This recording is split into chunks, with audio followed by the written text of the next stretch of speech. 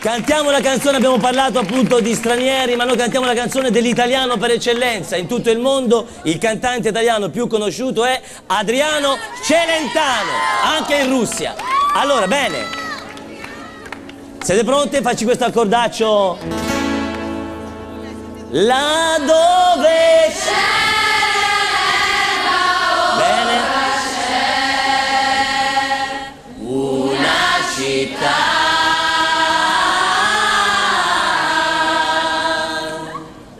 1, 2, 3, 4. Questa è la storia.